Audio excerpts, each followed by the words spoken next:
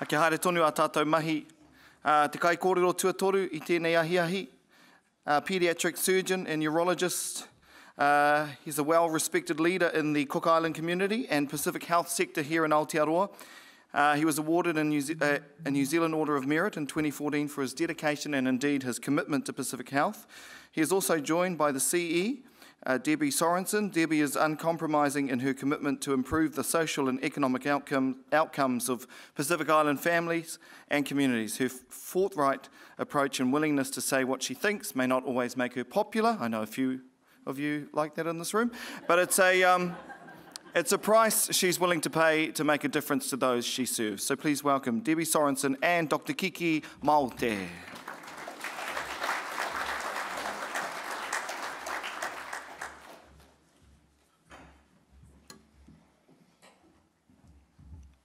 Eina mana e nā reo, rauranga tera mā, tēnā koutou, tēnā koutou, tēnā tātou katoa. Talofa lava, Nisa Bulavanaka, kia rana. Whakalofalahi atu malo lelei. I stand here feeling very humbled to follow two amazing, or three amazing women, tells me the power of women. For my son, I bought one of the men that we work very hard to make look fantastic and successful,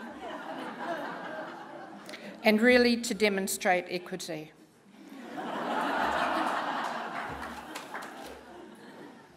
Some of you may wonder how we got to be here, and indeed, some days we wonder that too. I acknowledge Tariana Turia and her incredible generosity, her vision, and her foresight to recognise that our whānau, our ainga, our kaiainga were also in desperate need, that our outcomes, that our results, and our potential wasn't being reached. And I acknowledge her generosity, her humbleness, but her incredible encouragement for us to step forward. I have to confess that we were reluctant joiners.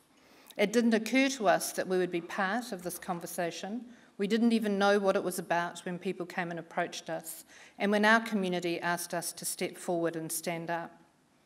After talking to more than a thousand Pacific families from Kaitaia to Invercargill, they told us what was important. We didn't go to government agencies. We didn't look at all the data. We didn't read the New Zealand Herald or indeed TV1 News to tell us what our problems were. We live that every day. It's the context of our lives. What we heard from our families was what was important to them. We want to live longer and to be healthy and to run around after our grandchildren. We want to be there. No one once spoke to us about diabetes and can you fix it. We want education right through our lifetime, from our babies to our mamas. Mamas particularly wanted to be able to track their grandchildren through Facebook and Twitter and all of the other things. I think now they might be regretting it somewhat. Certainly the grandchildren are. They wanted not to worry about the debt collectors turning them up and kicking them out of the houses. They didn't want to worry about the car being repossessed or having to pack up in the middle of the night. They wanted to be free from that worry and wanted to be secure in knowing that our children would be able to have a secure future, not worried by money, not worried about a financial future that was frightening and scary. They also told us that they wanted to be strong, that they wanted to preserve our culture, our age old traditions, that those were the things that were important and would sustain our children. Hence our outcomes framework. That's where it came from. We now, as we stand here today, have 14,000 families engaged in the program. We have 75,000 Pacific people enrolled in Whanau It's 25% of our total population. More than anything else, this tells us that our communities support us, that they see something valuable, and that families have trust and faith in what's happening. All of this happened without any compulsion, without any thought of where we would get to. In fact, we were very, we, our aspirations were very small. We said we'd take 3,000 families if we could manage it in the beginning. Clearly, we're overachievers. And we're reflected in our population, and again, this was a surprise to us. So, all our communities, our 20 plus communities in New Zealand, are reflected in our program right across the board. Indeed, we were just talking today and we think that we have almost every Tuvalu person in the country engaged in the program. I don't know what those people are doing, but they've certainly got themselves all hooked up. So there is something that is appealing to our families. They are voting with their feet. No compulsion, no necessity, a desire to work with people who understand them in their context. We have more than 51 partners working with us. And we've demonstrated that families over these last five years have been able to achieve more than 35,000 positive wellbeing outcomes. And yet, in the context of this, we still have Crown departments, we still have agencies who say, really? Do we really trust Whānau Ora? Do we really trust a commissioning agency? Do we really trust an approach? Well, if we're all about evidence, perhaps people might want to start examining the evidence because the evidence is there. Our families are talking, they have a voice. We've given them a voice. This is an indication of our data, and it's very interesting as we look at our domains. This is about financial security. There is no other program working with our families that is able to achieve this result. No other program at all. And yet we continue to invest. And can you please go and see the budget advisor for five sessions? And then that's done, you're done, you're fixed. And we continue to take that approach. We are saying here today we have a different approach. Families are telling us what works. We need to listen to families and we need to look at the evidence. In this area, looking at early childhood education, we had been told when we started the program that 95% of Pacific children were enrolled in early childhood. And yet, if you live in my suburb in Otahuhu in South Auckland, we know this not to be true. You can't get your kids into early childhood, you can't get into quality childcare, and we know that that can't be the case. What we can see is that we've got kids now and we have families who understand the importance of having young people engaged in quality early childhood. We still have a challenge around having uh, culturally contextual early childhood programs and quality programs. But we're starting on that journey in the pathway, and the work that these families are doing to get their little babies into childcare early is incredible. Several cars, several uh, buses, people coming home from working all night, transporting their babies so that they get a really good start in their life. Ministry of Health, millions of dollars put into smoking cessation programs. This result isn't through any person going to a smoking cessation program. This is through a financial capability program where families have decided for themselves that they'll actually stop smoking because they understand how much it costs. Not because someone said smoking's bad for you and it's going to kill you. There's not one smoker alive who doesn't know that. So we need to think again about what we've traditionally invested in and think about new approaches. We think that in places like South Auckland, families have lots of access to cultural support. In places like Invercargill, they can't get anyone to teach their babies Samoan because it's a very small community. Needs are different for our communities all over the country. We can't assume any particular need. But what we know is we can't meet the growing demand. The cultural renaissance in our communities, the drive to preserve our language, the drive to preserve the very essence of who we are, is struggling. We've demonstrated over the past couple of years that the families who tell us that they have lots of needs, very complex families, that they can make quite rapid change. This isn't necessarily a 10 year conversation. We had assumed it was, but they tell us it's not. They've told us just give us a chance. In two years, we can make this level of difference. Again, we need to listen to our families and understand what they're telling us and have faith and trust in them. They actually know what's best. 90% of our high needs families have made a difference in their lives over two years. It's an incredible impact, and we're all about impact. Again, here we see the numbers. So, in our innovation programs, people who are reducing debt. I can't reduce debt in my household of 10 people by 5%. I need to enrol in the program.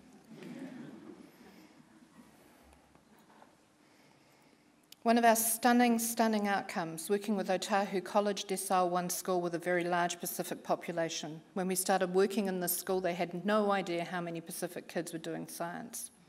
So we've seen the change in participation, and that's all very well. So you've got kids enrolled in science and physics and chemistry. the most stunning information is this information. The kids in this school are actually leading national averages. We are driving the Pacific achievement in education. And yet, I would say to education, why is Whānau Ora funding this activity when we have the evidence, when we have 10 years of evidence over a program? Why isn't this being integrated into large schools across the country? Why aren't we making a difference when we know what works? This is our opportunity. This is our opportunity to partner with you to really make a significant change if we just have the will.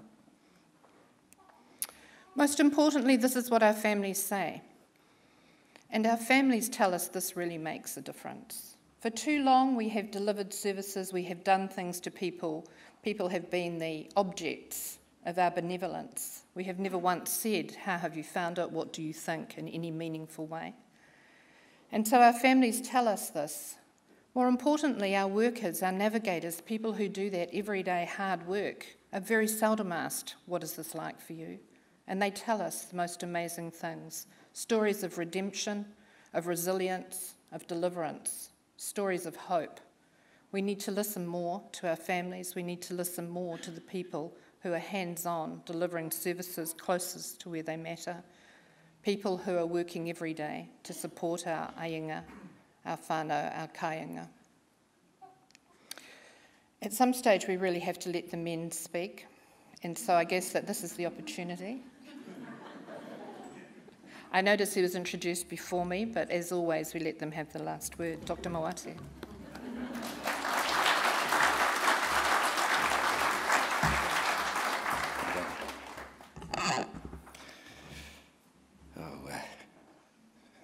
Pretty daunting standing in front of all of you. Kia ora e te minita. Kia ora e te minita inare. Oro ngā tu te aroa ki te minita mahuta. No tāna au tarai te rā. Te re mene mātou no te mono mo o kiwa. Te mātou me tua o Papa Joe Briam. Hari te mai te rā. Nā roto mai e Papa Joe, e Papa Robert Wunton, e tō mātou o rangatira, e no mai ni te tua. Kia ora ana, tātou kātou toa, i don't know why I'm shaking, maybe just too much coffee. Someone's got to be flash. But maybe not so flash that we don't rely on each other. I think the predictions for us in the Pacific world is to take it and run.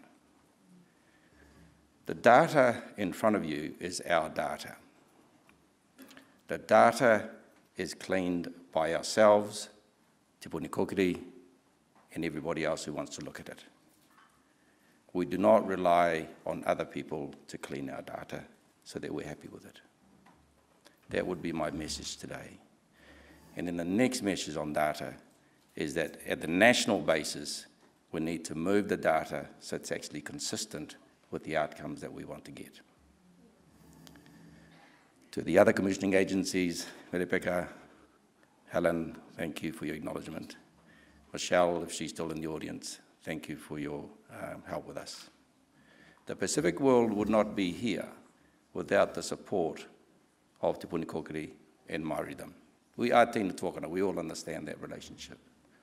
Ana Turia, Te Flavell, and now Peeni Henare, are staunch advocates of the Pacific world, and we're very grateful for that.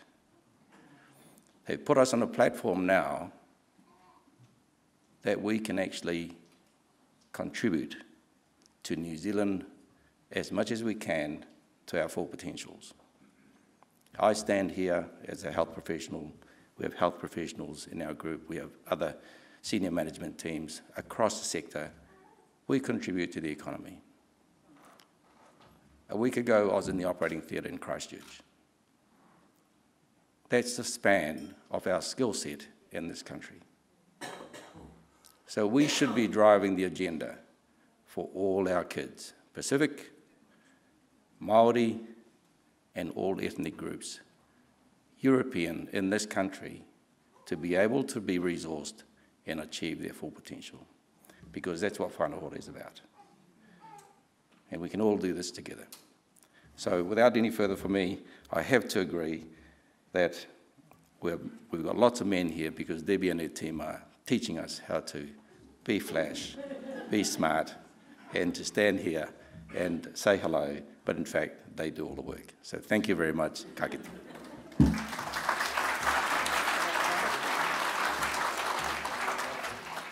Could I finish off where Helen started? Five of our um, families that we look after or that we walk alongside in Christchurch were involved in the shooting. One of them died, four of them are in hospital. Indeed, our chair, as he said, was in the theatre sewing up children who'd been shot. It is about all of us. It is about the care and the love that we have for everyone in our community. We are not the enemy. We are us. We're your partners, we're your colleagues, we're your brothers and your sisters. We're joined by kinship, we're joined by century old histories and things that connect us. I thank you all for your generous and kind support to us. Michelle, thank you very much for your agency and the dignity and the respect with which they've treated us over the last six years. We have very much appreciated that. Minister, we thank you for your kindness and your staunch support to us. And we have long connections with you, and we thank you for your encouragement. We thank you all for the space today and for agreeing to share that with us. Maloa pito.